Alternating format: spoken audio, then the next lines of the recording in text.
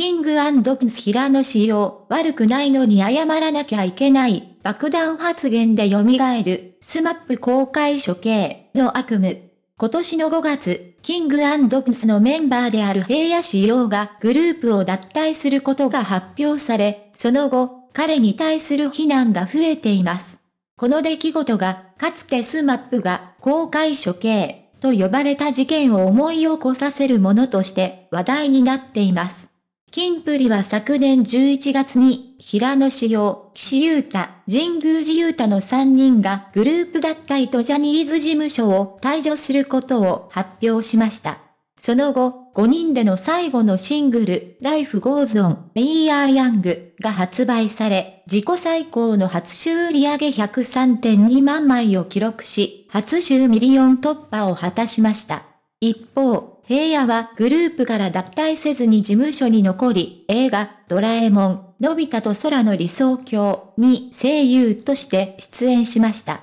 しかし、その後、平野のインタビュー記事が話題となりました。平野は2023年2月に発売された月刊 TV ナビー氏のインタビューでジャニーズ事務所における自身の経験について言及しました。その発言の中で平野は事務所での成功が全て良いことばかりではなく、多くの制約を伴うこともあると述べ、できなくなることが増える。自分は悪くないのに謝らなきゃいけない、といった内容を語りました。この発言に対して一部のファンからは批判的なコメントが寄せられましたが、逆に平野を支持するファンであるティアラからは強い支持が示されました。新シングルの発売初週でミリオン突破したことは、ティアラの団結力を証明するものとなりました。この悪くないのに謝罪させられた発言は、かつてスマップが経験した公開処刑事件を想起させます。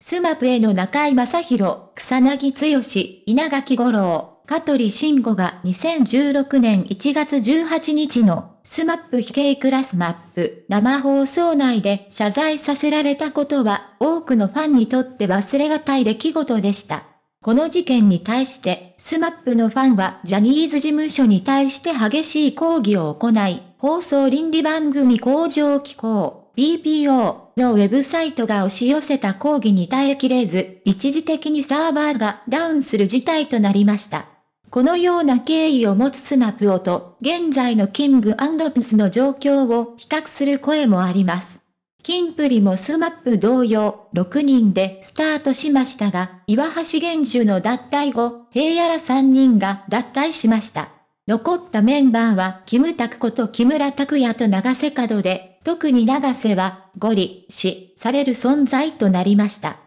しかし、日本テレビは3月3日の新年度改編説明会で、キンプリの冠番組は新年度も継続することを発表しました。この時点でスマップへの公開処刑事件が再び話題になることで、それを提供したフジテレビのドラマ、教場ゼロにも影響が出るかもしれません。ただし、平野たちが地上波へのこだわりを持っているわけではなく、国内だけでなく、韓国、中国、北米など国際的なショービジネスにも積極的に挑戦しています。また、ミリオンセラーを記録したティアラは、今後もライブ動員を牽引していくでしょう。 SMAP への公開処刑から7年が経過しましたが、ティアラと呼ばれるキングプスのファンたちは、ジャニーズ事務所が、し、メンバーに圧力をかけようとも、結束を強化し、困難に立ち向かっています。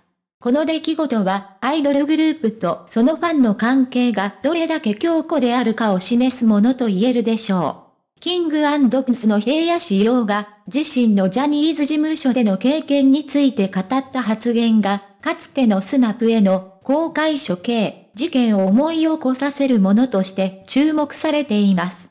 彼の発言には、事務所での成功が制約ともなり、時には不公平な状況に直面することを意味する言葉が含まれており、一部のファンからは非難の声も上がりました。しかし、彼を支持するファンからは強力な支持が示され、新シングルのミリオン突破はその結束力を証明しました。この出来事は、アイドルグループとそのファンの結びつきの強さを示すものであり、過去の公開処刑事件との比較が行われています。しかし、現在の King & Prince は国際的なショービジネスにも積極的に挑戦し、地上波へのこだわりは限定的であるため、その影響は限定的である可能性があります。 SMAP への公開処刑から7年が経過し、ティアラと呼ばれる King & Prince のファンたちは困難に立ち向かい団結力を強化しています。この出来事は、アイドルグループとそのファンの絆の強さを示すものであり、今後も彼らの活動に注目が集まるでしょう。